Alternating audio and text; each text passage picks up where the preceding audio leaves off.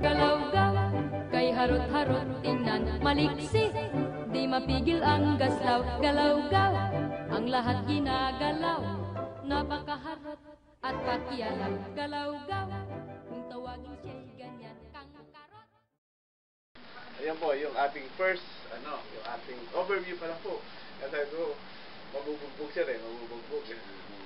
Kasi pag isang topic naging interested ka, tuloy-tuloy eh. Pag nag-speak ka, coming from your heart, unstoppable eh.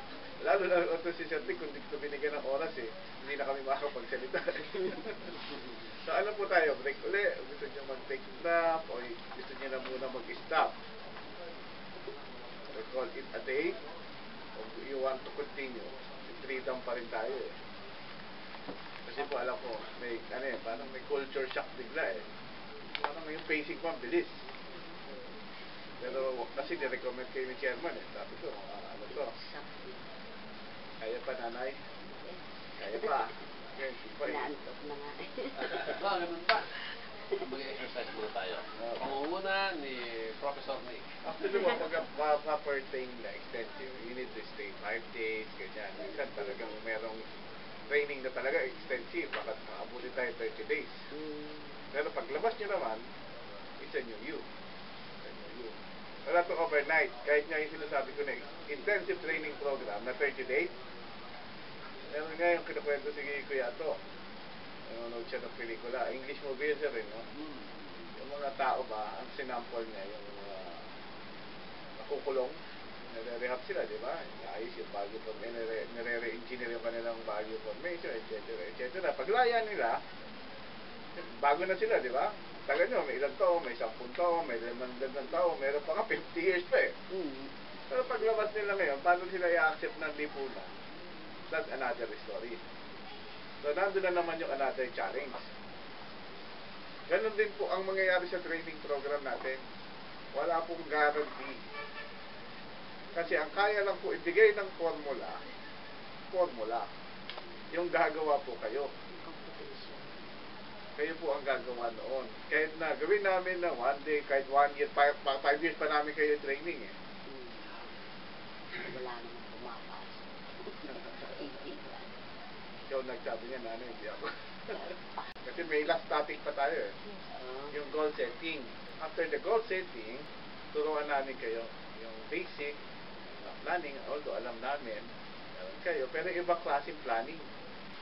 Yung planning na individual life, kung saan kayo mahina, saan kayo malakas, doon natin siya palalakasin pa kung saan kayo mahina. Gusto niyo pang palakasin, palalakasin pa natin. But again, guide lang kami. Kami magiging guide. Kayo pa rin po ang gagawa. Kaya ito hindi isang maghapon na seminar, eh. lifetime seminar po ito. Okay, okay na? Tutuloy na po tayo? Yung ating concept. Okay, we're going to tackle the second principle. Uh, the second principle, which is the goal setting. Okay? Okay, hindi ko na kailangan po introduce. Siya naman po ang muling speaker, si Professor Dick. Actually, ako si yung one kanina, talaga kung talagang i-detail yun, Mr. Arthur, it will take uh, a week. Paano ba? Five years? Actually, ano, yung, diniscuss ko si it reminds me when I was a philosophy student. Okay. So, actually, ang isang ko eh, parang naging buhay ko din. Actually, ang totoo niyan, dapat magpapari ako. Tinanggihan lang ako ng seminary. actually, as a philosophy student ako sa LFU. And then, I took a, a units of master sa UST. So, and then, I was invited to seminary. And then, I found out, sa seminary pala, ah, dapat ang both parents mo mag-agree magpapapari. And yung father ko, mayang, Ah. why? Because my mother wanted me to become a priest, my father wanted me to become a lawyer. So, hindi ba tuloy? Ano kaya? Actually, this formula, why that lesson is very, very important. Kasi setting goal will be useless. Okay? Kasi everybody is being encouraged to set an aim like the star, as high as the star. Kailang bihira po yung gumagawa ng gano'n. Why? May mga kasabihan tayo na ang mangarap ng mataas daw, masakit kung bumakasak. At sa akin naman po, ito lang pinag-uusapan ng pagbagsak ay masakit lang eh. May counterpart naman ng word yun. Pwede naman tiisin. diba? Ibig sabihin, dahil may, may, may, may, may solution naman doon sa sakit ng pagbagsak, eh huwag nang Mangarap ka na. mangarap ka na. The truth of the matter is, kung bakit hindi maghangad ang tao ng mataas, ay hindi man yung pagbagsak eh. Because they believe they don't deserve what they are feeling. Diba? Bakit they don't deserve? Doon po babalik sa first lesson. Kasi ang point of reference ng mga tao, pagdating sa goal setting, ang tinapos, saan ang galing, diba? Pag galing probinsya, ay yung mga mataas. Diba? Pag ah, ang pamilya ay broken family, ang, ang, ang point nila, hindi sila, para bang hindi sa deserving sa magandang buhay. Pag hindi nakatapos ng pag-aaral, di ba, umuwi ng probinsya, magkakaroon ng kamote. Kasi ang point of reference na iba, kasi we are being, para bang we are encouraged na bumalik sa kung anong dapat, ano who we are, di ba? And actually, we, doon sa topic na yun na Sir Arthur, doon pa lamang, pag naintindihan talaga natin, who, the word who am I, para bang, ano yung hindi mo pwedeng hangarin? Di ba? Ano yung hindi mo pwedeng hangarin? Ibig sabihin, we can set the highest star as our goal. Actually, nakikita natin kay chairman pa lang, di ba? Imagine, sino makakapag-isip ng ganun? Like what chairman said, ano kanyang pinag-aralan? Di ba, sa siyang galing lugar. Pero how come na si chairman ay nagkaroon ng ganung vision na even siguro yung pinakamatay ng tao nahihirapang pangarapin that is to unite. Di ba? Napakahirap nun. But what? Kung para bang ano nag-encourage kay chairman? Maybe hindi na siguro na-reveal, na-reveal chairman yung point of reference din niya. Di ba? Na maaaring gusto niya i-declare din, I'm the son of God. Di ba? I'm the child of God. Di ba? Nothing is impossible. So yun yung kanya realization, yun yung understanding. Kaya di ba yung ating topic ngayon na una, yung una is, yung understanding napaka-importante. Para bang the deeper we understand things, katulad yung example ni Survey, di ba? Yung baso. Eh pag talaga naintindihan mo yun, aba, ang dami pa pwedeng magawa. Di ba? Eh, kung ang, ang thinking mo sa baso, inuman lang, ay ibig sabihin, may dumating na panganib, eh, hindi mo na nagamit pampukpok man lang. Bato mo. ay pwede pa rin pampukpok yun. Actually, ako na, sabay kaya po, kasi MLQ ako eh. May nakita akong bata, magaling eh. Talaga ko siya, hinara, hinarangan siya ng dalawang may. May balisong. Ano mo, yung understanding niya, belt ang kinuha niya. Ang belt. Tapos, pinulupot yung kinuha niya, kahaba lang. Ay, isipin mo, natalo niya yung dalawang. Pag hampas na, putok yung kamay. Ay, may yung ano, bakal. may So, bakal. ibig sabihin, pag naintindihan mo ang isang bagay, you can maximize the use eh. Kaya lang, most people, we spend so much time understanding a lot of things around us, but we know little about yeah. Kaya pagdating sa setting goals, nagkakaproblema tayo. Nag-set ng mataas, hindi naman kumpiyansa. Kaya bakit inuuna ko yung knowing who you are? Para the moment mag-set po tayo ng goals, nandun yung tinatawag na positive, confident expectation. It's gonna happen. Kasi kung mag-set daw po ng goal at di ka maniniwala, huwag ka na mag-set. Kasi kung, kung di ka maniniwala, ma- maybe halfway ka, ayaw ka na. Di ba? Hapon, al- alam mo, kahit sa, sa, sa, sa ibang business, sa selling, tinuturo namin yan. eh. Yung bang, having a sales is made first in the mind the salesman before it becomes a reality. Eh, Imagine mo yun. diba? Pag tingin siya ng ahente, yung pagsetang go, ay, close na kita. Para mag-talking to you is just a formality. Why? Because he knows himself. Tapos, uh, ito, idea also from uh, Asian developer, Asian institutional management. Yung word na, if you know yourself, okay, but you do not know your enemy, the chance for winning is 50-50. If you know your enemy, but you do not know yourself, still the chance is 50-50. But if you know yourself and you know your enemy, and enemy, there is sure victory. Just imagine the power no knowledge, di? So, actually, every time pag-usap niyo setting goal, kasi very simple naman po eh, yung kanta na yung kinakanta yun eh. Do you know where you're going to in this world? Di ba? Saan? ganun. Ha? Pwedeng ganun. Do that life is showing you. Actually, two lines that can remind us of something. First line is, do you know where you're going to? Diba? Second, do you like the things that life is showing you? Kung ayaw mo danaw ng mga nararanasan mo sa mundo ito, better stop for a while. Because the truth is what? You do that, no really, where you're going. Diba? Saan papunta? Da- da- dapat ma-identify eh. Diba? Dapat ma-identify. Sige, next slide natin. Okay? Through wisdom, a house. Actually, it's biblical, di ba? Sa understanding yan.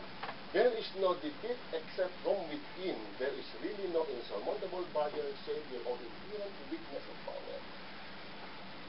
Actually, when it comes to struggles, people really give up.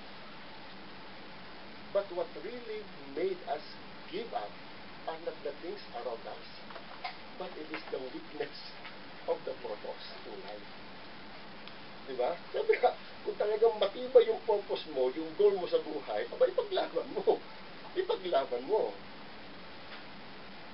Eh, uh, actually, given naman yan eh. Sabi nga, sa idea, may kukontra eh. Baada kumontra pa, mas higit yung sa sampung ideas mo, ang kumontra, mas higit sa sampung. Paano mo itutuloy? Pero uh, ang maganda is through our experience, uh, we can see people already eh, that they really made it, di ba? They really made it despite the fact na maraming mga problema, di ba? May mga may mga barriers talaga, may mga hindrances, na kung tatanong mo sila is one, very strong yung kanilang tingin sa goal nila. Okay? So, it is always yung within eh, di ba? That, uh, o di ba, yung intention mo talaga, yung target mo, kaya pag nagsasama yan eh, vision, dream, goals, eh, mamaya may mga, actually may mga pinagkaiba yung mga yan eh. Actually, before, akala ko yung vision, yung dreams, yung goal, pare-parehas, ayun pala, magkaiba. Di ba? So, but of course, yung vision, yung pinakamalawak. Okay? So, now, so una, okay, now, actually, ito yung uh, mismo nasa books natin eh. Okay? On the voyage of active life, there are no, there are only few who have reached their destiny for which they sail. Ma- Maraming nagplano, di ba? Marami. Sige, maraming nagbalak, ika nga, pero bihira yung nakabot sa sa port, di ba? Alam mo, isang hindi ko malimutan ko dyan, kasi I myself, ang pamilya namin, fisherman kami. Alam mo yung experience ko kaya nung bata pa ako, pag ako pinaghawak ng timon ng dati ko ng bangka, kinakabahan ako. Dahil walang option mo eh.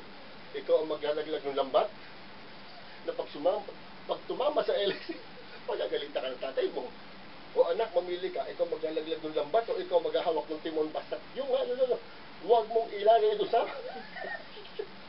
Ay, aliman sa dalawa, na ano yung takot mo? Ngay, hawak mo yung timon ba? Yung tinuro sa iyong kulay black, ay mali, mali yung pagkakaintindi sa pagturo sa akin. Ang tinignan ko ulap, ay siyempre sinusundan ko. Anak, hindi yan ha. Kahit anong mangyari, kahit malakas ang agos, titingnan mo. Kasi ang ibig sabihin ng father ko, kapag sumablay ka, ng ng bata, ha? Magkakaproblema eh. So, anong point? There is assurance of getting to the point, to the destiny, because initially, may tinitingnan kang destination. Diba? Eh, eh, kung wala, come what may, ay sabi nga, kung sa katagal yung agos, ay doon ka nalaman. Yan it, diba? Pero kung may tinatarget, makakapunta ka. Now, bakit ang iba ay hindi makabot? The, the question is why. So the answer is, because we never set ourselves, we don't chart our course. So kapag chinart natin, yung takbo ng buhay natin, for sure. Diba? For sure. Pero kung walang ganun, eh, walang, walang mararating eh. Alam mo ba yung kwento ng dalawang isang matanda at isang bata nung nasa lubong para sila nagkalakad? And then, very uh, inquisitive yung kan, yung uh, bata. Tinanong yung lolo, Lo, pwede mo kapagtanong? Oh, uh, ano, uh, anak, anong gusto mong alamin? Uh, ako po ba'y naliligaw na? Abay, ay, ba, sa, saan ka ba papunta? Ang tanong ng bata ko, ako'y naliligaw na. So, yung lolo naman, na, you know, may wisdom na siya, ba, bakit? Saan ka ba papunta? Sumagot yung bata, wala naman po. Naku, putol wala ka naman pala patutunguhan. Hindi ka naliligaw. Kasi ang naliligaw lamang, yung may sinat na goal. Pero kung wala ka naman sinagot, o wala ka sinat na goal, huwag ka na. Don't bother to ask yourself kung ikaw ay naliligaw sa mundo. Ah, tama lang ang nangyari sa'yo. Talagang, o kahit saan ka pumunta, Yan ka lang. Diyan ka na. Kaya tayo ma- pwede natin malaman, if, we set our goal, yung importance eh, pag nag-set tayo ng goal, at least alam mo kung ito'y namalayo pa, kung nasa gitna ka na, ikaw ba excited na, marami ka pang dapat gawin. But when you look around, most people, parang yung mapapansin mo na parang relax, pero walang na-achieve. Di ba? Kaya ang word, di ba? Ay, may, kung meron, meron, kung wala, hindi wala. Eh, iba siguro, yun ang comfort zone nila, di ba? Para bang walang problema. Bakit walang problema? Wala ka namang iniisip eh. Para bang kung anong meron, di ba? Para isang pangka, pag ang hangin dito galing, ay dahil ang bakit ka pa sa wala. Pero nasan yung sense of fulfillment? Di ba wala? Now, that's why ang ganda nung kayo sa, sa, sa, sa foundation, di ba? Para bang uh, uh, the, the foundation is inviting us na yung goal nila o vision nila, maging vision natin. Okay? Okay? So, yan. That ship which sails by every wind comes never in the harbor. Okay, like what I said. For a successful journey through life, one must fix, okay, and determine his destination. So, dalawang kailangan. I-fix at i-determine talaga, okay, yung destination. Pangalawa, keep your course, whatever. Now, actually, isipin mga simpleng bagay lang naman, di ba? Ano ba simple? Simpleng bagay, dapat fix ang mind mo, determine ka to where you want to go in life. Alam mo, yung mga motivation ng mga estudyante, di ba? Gusto maging doktor talaga, sinadyan, ah, whatever it takes, kahit hindi mapaaral. Di ba? Kaya di ba't may mga kanta, may mga punto na, kasi pag nangarap ang anak mo, suportahan niya lang. Huwag ka ng mga pero, ah, wala ka. Alam mo, actually, sometimes yung mga parents, di ba, siguro, we, cannot blame some parents kasi maybe ang, understanding nila, yung bang walang kakayanan, wala kang mga kakayanan, tapos anak mo nagkakad maging doktor. Kaya reaction natin, anak na anak, huwag ka, huwag ka mga, hindi, hindi kita kayang paaralin ng ganyan. But actually, ang totoo niyan, let them, let them dream. Actually, every time ang tao ay mangarap, mag-set ng goal, ang dyan is, that man or that child is talking with the force. Not kayo. Kung sasagutin ka ng bata, ma, huwag ka mag-react, hindi ko ang kausap ko sa pangarap ko. ang kausap ko rito, Diyos. Di ba? That if we will just trust yung sitwasyon, God has the power to do something sa buhay ng pamilya at maging instrument for the fulfillment ng dreams ng bata. Kaya tayo, suporta naman. Okay? So, yun yung power ng dreaming, eh, yung power ng setting goals. Okay? So, now, ano yung saddest truth? Okay? With one life na meron tayo, okay? Ang masakit, paano kung sinasayang pa natin? We live life without a well-defined plan. Kaya sa akin, it's really, para bang, it's a grace actually to be part of this. Why? Doon nagkaroon ng meaning eh. Di ba? Doon nagkaroon ng meaning. Kasi sabi ko nga, later on, like yung sinabi ni Brother Raiden, na maaaring we, we, we, we uh, got a lot of wealth sa buhay natin. Pero masakit, after getting all those things, nandun pa rin yung question na, ano ba talaga? Para bang may hinahanap ka pa rin? Di ba? Uh, yung fulfillment na tinatawag eh. Kasi, aminin matindi, ngayon pa lang, tanggapin natin, di ba?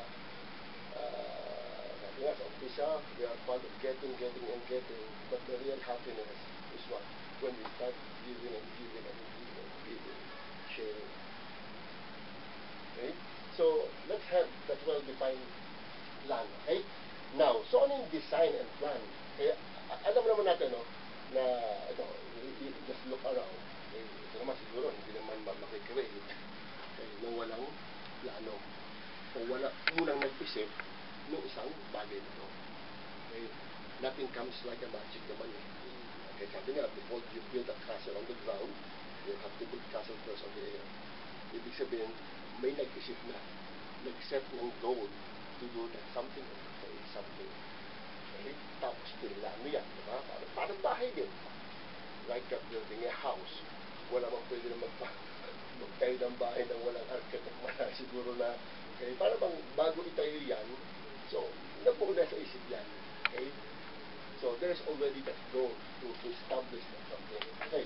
So ano yung prerequisites niya? Actually, ano yung mga bagay na dapat gawin in setting, okay, or in getting the things we want in our lives. Okay, so what are those four? Una, establish goal. So, that establishing goal includes yung chief aim or major purpose in life. Para bang question dito, what do I really want? Para bang, what is your ideal life? Diba? Ano ba talaga yung gusto ko? Actually, lahat naman tayo, I don't know, but uh, ito na experience natin. Sa haba ng pagkatrabaho natin sa mundong ito, marami pa sa atin nagtatanong, di ba? Ano ba talaga yung purpose ng buhay ko? Why I'm here? What really makes me happy? Sometimes, kapag kakamal natin, ito sa mga Di ba, tayo nagtatrabaho, sometimes out of need. Ba? Yung need ba natin? Pero, ang totoo, hindi naman yun talaga yung gusto natin. Di ba? Kaya ang question is, what is really my major purpose in life? So that's first. Dapat na-establish natin. If we really want to achieve something, we really have to establish that first. And second is what? We have to develop a plan for its attainment. Okay, may plano. Diba? And then third actually is have resilient determination. Now, actually, alam natin, challenge are always there. Okay, sometimes meron tayong goal, meron tayong plano, pero alam natin, pag hindi ganun ka-solid ang iyong determinasyon, diba? Ang iba, the day one, ano gusto nila? They're doing something. Pero pag sinabi ng resolute determination na, that, that's something already. That, okay? And then of course, nothing can be achieved without what we call continuous action. Ibig sabihin, hindi basta action lang. Continuous action. Okay? So, so anyway, ito naman po yung parang uh, kung lang, no, pinaka-overview. Okay? So, what is your chief aim in life, your major goal, or what you really want, your dream, or what is your ideal life? So, I think that's a question na maganda sagutin. Okay? Paano bang, ano ba talagang gusto ko? Ano ba talaga, ano ba talaga kung yan? Okay? At tayo ba can really join, not dun sa grupo lamang, kasi joining the group is easy. Pero yung mag-join tayo dun sa vision, that's a great challenge. Can I really embrace, di ba? Para bang sasama ako sa grupo, why? Ay, sarap eh, kasi madami, madami kami dun eh. Eh, Pero along the way, yung mga challenge, sabi nga, what would really, para bang put us sa position na we stay, stay po tayo, ay dahil sa vision, talaga in-embrace din natin. Okay? So, now, it's, a, ano, it's not enough for success to have ability. So ito naman, when we talk about success, ano, we, we talk about getting things in life. Kaya sometimes ang ating mga sinasabi, pag matalino ka, lamang ka na, di ba? Pag ability ka, lamang ka, pag masipag ka, lamang ka. Actually, these things help. Pero without big motive, di ba? Sabi ng worthy ambition, para bang lahat ng meron ka, talino, abilidad, actually, you just, you're just putting those things in sayang. Di ba? Al- alam natin yan. Maraming matalino. Eh, pag nakita mo, hindi tagumpay. Bakit? Kasi yung motive, yung big motive wala. Di ba? Para bang, kung may big motive, and then tandem with all these good things like ability, education, di ba? Yung patience, that person could really succeed in life. Okay? So, napakalaga ng big motive. Now, when the goal, ano, ang example of binigay rito is this eh. Sa basketball, dati raw, pag tinanggal na yung, yung net, net ba yun? Ibig sabihin, walang laro. Kung sa football naman, pag yung pinakang golden, uh, yung post, uh, ano, tinaob na, over na rin. Di ba? So, actually, sa game ng buhay,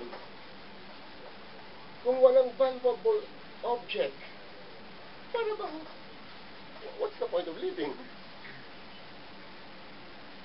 Actually, yung mga sa probinsya, yung kwento ng mga lolo eh. Alam mo, ako, kawawa yung ating kapitbahay. Bakit po, Lolo? Wala ka pang pangarap sa buhay. Because for them, pag wala kang pangarap, you're dead. You're dead. Kasi yung pangarap, yung, yung goal mo sa buhay, actually, in, in our experiences, people can extend yung buhay nila for what reason? Dahil may pangarap.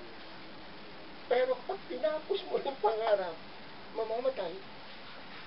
Oh, di anak ko lalaki. Yun ang isang buwang nakalatay. Milyon ang ginastos. Naawan ang pamilya. Kaya pala hindi namatay. Meron pang iniisip na isang bagay. Anong iniisip na? Kawawa yung kanyang asawa kung siya mamamatay. Pero kinausap ng panganay na anak at binigyan siya ng assurance, kami na po ang bahala kay nanay. Just a minute. Namatay.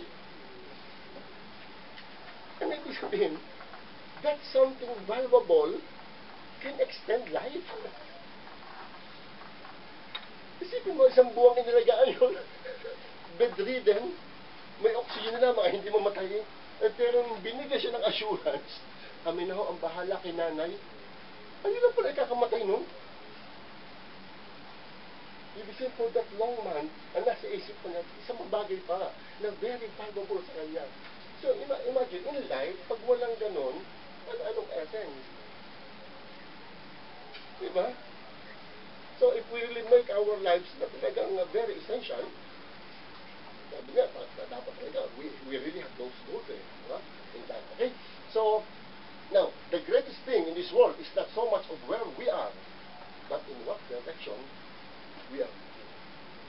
Alam mo, it reminds me sa mga networking, ginagamit din yan, di ba? Yung panganak kang mahirap, kaya na yun. Pero yung mamatay kang mahirap, abay, ayos yun. Bakit? Ibig sabihin, dahil kang pinanganak, hindi ka man lang nag-set ng goal na yumaman. so it's not where you are eh. It's where you are going. Kung saan papunta? O ibig sabihin, wala ka magpinag-aralan, di ba? Ayos na yun. Hindi nakatapos, ayos lang. Di ba? May naging background na pangit, ayos lang. Uhus ka naman pagkatapos. Yung sinabi mo sa kanina, di ba?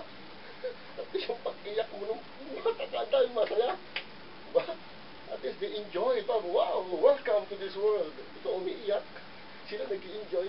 Pero ang pinakamagandang kwento nga, yung at the end of life, di ba?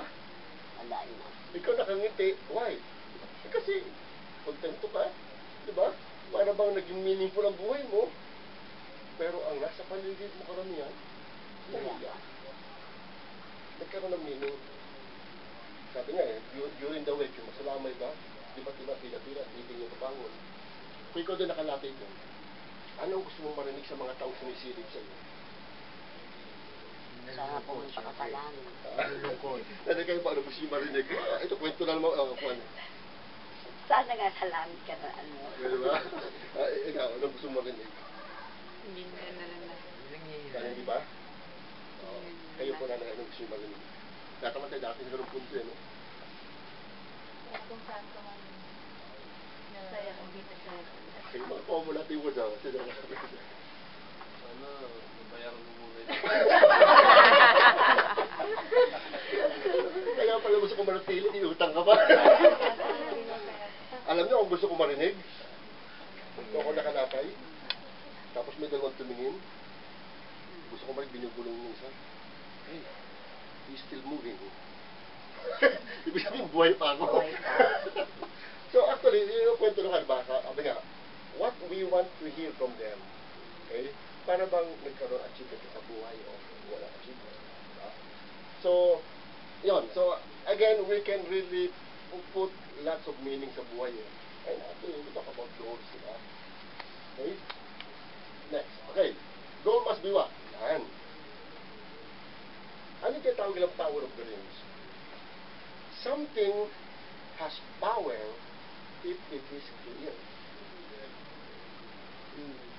Pag hindi klaro, wala power yan. Kaya ang goal, dapat there is clarity na tinatawag. Okay? Fix and hold it in the mind. Na, ba- bakit kinakomputan na hold it in the mind? Kasi actually there's a psychological principle eh, na isang bagay na dominant in our mind actually saturates sa ating subconscious mind. And ako sa mental training, pag-uusapan natin yung power of subconscious mind. Kasi ang iba pa, walang pagkakamalan yan, yung difference between uh, conscious at subconscious. Diba? Actually, ang conscious naman, na sabi nga, ah, hindi man ginagamit yung for creation of things. Ang tawag sa ating conscious mind ay guardian of the soul. Sila ang taga-guard. Okay? Lahat ng pumapasok po diyan, eh, siya ang nagsasala. Di ba? Bakit sinasala po ang magandang design ng Diyos? Kasi pag hindi yung sinala, lahat ng thoughts na dumating sa subconscious mind, wala na ho tayong magagawa. Because the subconscious mind has the power to make the thought a real thing in our lives. Di ba? May grand design. Di ba? Na bago makarating doon sa subconscious mind, sasalain muna. Ang masakit ito, kung yun ang sasala, ay kulang sa abilidad, kulang sa training. So, anong point ko po? Bakit sinasuggest na hold it in your mind? Something clear. Kasi if it is clear, okay, it registers actually in our subconscious mind and influence our body to make these things a reality.